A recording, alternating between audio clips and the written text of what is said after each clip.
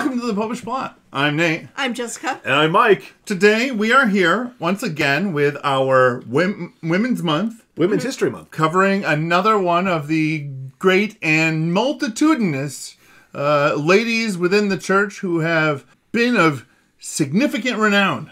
Nice. Yes, today I decided to pick one who more people probably can relate to because she she was uh, known for being a wife and a mother. Plus, as a bonus, she has a bunch of Italian names I can make the guys say. The names are multitudinous. Yes. So today we are talking about Blessed Maria Corsini Beltrame Quattro Quattro Quattrorocci. Yes. Quattrorocci. Yes. She was born June 24th, 1884, in what was the Kingdom of Ital- Italy at the mm-hmm. time. Mm-hmm. And then she died August 26th in 1965 in Florence, Italy. Yeah. And her feast day is not the day she died, because her feast day is November 25th, which was the day that she got married to her spouse, who is also a blessed. Blessed Luigi. Beltrame Quattrocchi. Yes, because he was a sort of adopted by an uncle, so he had a double last name, which is why she had so many so mm-hmm. many last Then you take her maiden name plus his two, and that's how she gets mm-hmm. four. And they were the first couple to be beatified together in 2001. Now, it's important to note the most famous couple to be together are um, Louis and Zélie Martin. They were the first couple to be canonized together, whereas Blessed Maria and Blessed Luigi are still just beati. Yes. She is a patron of mothers, families, married couples, and volunteers.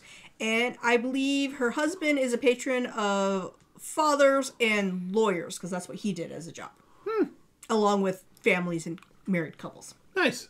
Well, yeah, those are things they share. Yeah. Yes. Now, of course, it's important to note that one of the many great accomplishments of Blessed Maria is getting Blessed Luigi to heaven. Because when they first got married, he was not a very faithful man. Ah. No, no. He was a good and moral man, but not at all a religious man from any of the information. While she was, as a daughter of a noble family, had gone to um, well educated by parish priests, by school run by nuns, and eventually by state schools as well. And was actually a professor of education and also was a lecturer, which, you know, is in this case like a professor, only she was a female, so she just pretty much, you know, Yeah. gave speeches for the university They wouldn't give her the title of professor. yeah. So, uh, as I understand it, they had four children. Um, so, Filippo, Filippo in 1906, uh, Stefania in 1908, uh, Cesare in 1909, and Enriqueta in 1914. And wow, okay, so pretty much, uh, clearly, if if mom was the most religious one when all this started out, uh, clearly mom's faith rubbed off on everybody in that family because mm-hmm. I'm looking mm-hmm. at a priest, a nun, a monk, mm-hmm. and a servant of God. Yes, yes. Their youngest daughter never joined religious orders. She never got married. She lived a life as a single person, largely helping out her family, taking care of other people. But yes, she's a, currently a servant of God on, you know, the path to sainthood. Nice. All right. Now, it's possible that she was living as a consecrated virgin, but before the council revived Yeah. consecrated virginity. Yeah, there's some talk that she, you know, personally made a vow, but Yeah. it wasn't an official public vow like Yeah. there's done Yeah. now. Yeah. Again, that didn't come until after the council. So, yeah. Yep. Um, besides dedicating herself to her family and taking care of them, uh, she also worked with several charitable groups, movements, and organizations through the years. Uh, she was a member of the Women's Catholic Action and was part of the General Council of the Italian Catholic Women's Association. Um, she helped in establishing a Catholic university. Uh, she was a catechist and involved in a lot of the marriage and family groups within her parish and, you know, in general in the area. Uh, Plus, remember, also, mother of four and university lecturer. Yes. Yep. Yes, she worked for the Red Cross during the Second Italian Ethiopian War as well as in World War II. And in World War II, she also sheltered Jews and other refugees in her house because she was, again, Italian, so They needed to find a place to be. Uh, she also helped in the founding of multiple Catholic organizations. Okay, I think I got this one. Um, so let's see, ASCI or the Associazione Associazione Scouts Cattolici Italiani.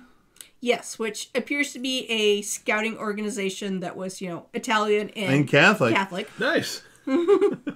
Azione Cattolica which was at the time the largest Catholic lay organization in Italy, and Unitalsi. which was designed to help um, people who had infirmaries or, um, you know, Infirmities, I believe you mean. Yes. Infirmary is a hospital. Yes. An, infirmar- an infirmity is an ailment. yes, or they were, you know, like in wheelchairs or crutches and things like that that would have mobility issues, mm-hmm. go on pilgrimages, especially in oh. places like Lourdes, where it's known for healing. Yeah. Ah, awesome. Yeah. Nice. Get them to the waters. Yes. Cool. and she also as mentioned in the other thing with the organizations did a lot of stuff with um, helping scouting organizations and groups for the poor of rome mm-hmm. Mm-hmm. so this sounds super fancy on paper but in real life she was the scout den mom Yeah. Yep.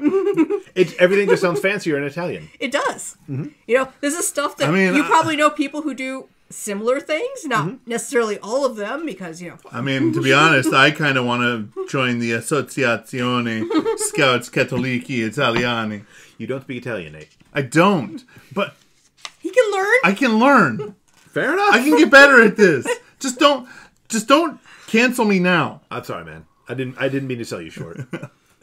yes so she was. She was a working mother mm-hmm. and a dead mother, yes living out the universal call to holiness. Yes, uh, she wrote essays and books on topics that you would expect given what she did Education. religion, family, and spiritual upbringing of children. Because Because clearly, she, rocked that. And of course, as you would expect from you know a den mom, they enjoyed sports, they enjoyed trips, they like the seaside, they like the mountains. All the Italians like their mountains. Have you seen their mountains? Their mountains They're are beautiful. They're beautiful. Oh yeah. I mean, our mountains are hills compared to their mountains. So, Yes. Plus, they're very scenic. well, that's because half of their mountains aren't made out of giant piles of garbage that we then just went and made Covered ski over with dirt and grass. Michigan is an aggressively flat place. We have to make our own hills. And also, her house was essentially the place where everyone was at. Mm-hmm. Um, It was completely common for friends to be over all the time. However, it was also completely common for the needy people who needed food to come over all the time. So, This is what the Lord Jesus tells us. When you have a party, don't invite. You know, the fancy folks or the folks who can invite you back. Invite the blind, invite the lame. That's what she was doing. She was opening her home to those who, you know, bear the distressing disguise of Christ. Yes. And the, the three of her children that were still living in 2001 This is awesome. were all there at their parents' beatification. Which I gotta say, just sounds really incredible. You know, the, the, the, the, the priest, the monk, and the nun. Yeah. Yeah. Well, the the nun was the one who passed away early. it was the the one who never the married and never, virgin. you know, officially. Yeah, the the, pri- the priest passed away shortly thereafter. But he held on to see his parents Uh, uh, the monk made it several more years, but not a lot, and and, and apparently the the the youngest uh, passed away in t- in 2012. Well, but I mean, these people have incredibly long lives. 1906 to 2003, Seriously, 1908 to 1993, The- the- the- 1909 to 2008. Yeah, the servant of God made it made it 98 years. Uh, the monk made it 99. uh, the the nun. Uh, Oh, only 85. Only 85. Well, And- in, in and- this and- family, that's the underachiever. and the priest and the priest made it to uh to 97. Well, I mean, None too shabby. Yeah. she, she was a nun, so she probably wasn't out camping as much as everyone else. You know, fresh air and stuff. Yeah. She was in the cloister too much. She needed more fresh air. But so, you don't need to be a religious. You don't need to be a hermit. You don't need to be a missionary who crosses oceans and traverses mountains. Just live your life.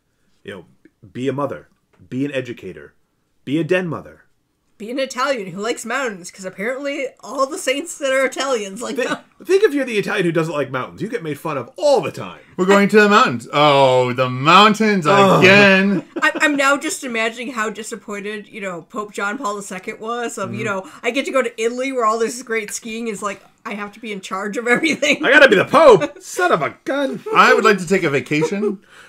That's that's what he was doing when he did all those pilgrimages. he got to get out and about. Yeah. He had boundless energy. Seriously. So just wh- whatever you are called to do, whether you're called to be a mother, you know, whatever your job is, you can be a saint just in your average everyday life. Just be just be the saint God made you to be. You know, just do ordinary things with great love. You don't need to do extraordinary things. It's all about how much love you put into whatever it is you do. And Blessed Maria apparently put a lot of love into what she was doing. Clearly. I mean, she had everybody coming over to her house. And again, she got her she got her husband to heaven. Yeah. As Jess can tell you, that's a difficult task. Well, I mean, I, I, I can't He might speak not on have- it yet. He's not dead, therefore they can't tell. Jury's still out. Jury's still, I, I, I'm on the right road, but I can take I can take a wrong turn any any day now. I have faith in you, buddy. That's good. One of us one of us should. I'm, I'm just surprised you didn't say that we should ski more because clearly saints ski. Maybe we should ski more. It's been a long time. We're Sonny Bono, man. I don't want to. I don't want to run into a tree. There aren't trees on the hills we have in Michigan. I, I mean, there are there are I've hill- seen there, trees are, at Boyne. there are trees In on the pictures hill. I've seen it. I've never been skiing. Yeah, we're not really like the athletic channel.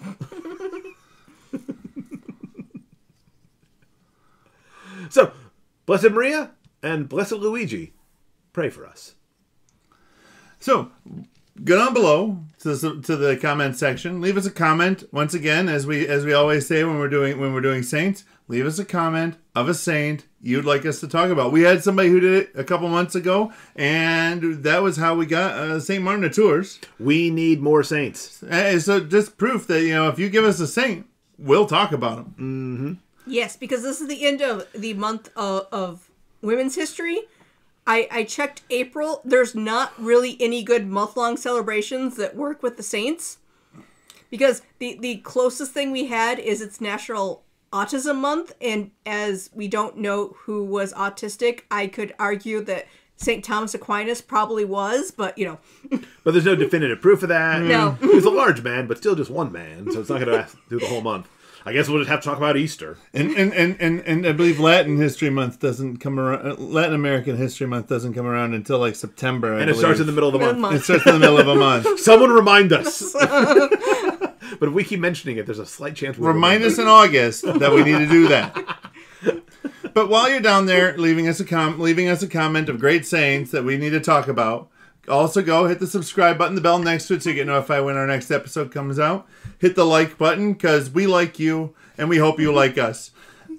And remember, we've got that deal going on with our good friends over at the Catholic over at Catholic Balm Co.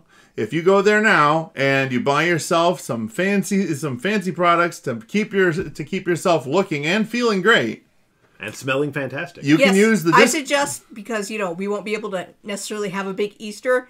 Get you know a chrism scented something because you're not allowed to go and smell all the new baptized Christians. I have the I, when we when we got our order in, uh, I got the Ambry beard oil in Chrism, and it is super chrismy. So So remember, use the code PLOT2021 for 10% off. Yep. So just put that in it as your discount code at checkout. So you get 10% off. You'll help support youth ministers around the world and you'll help support us here on your on your uh, on the internet. and until next time remember to live your faith. Love your faith. Share that love.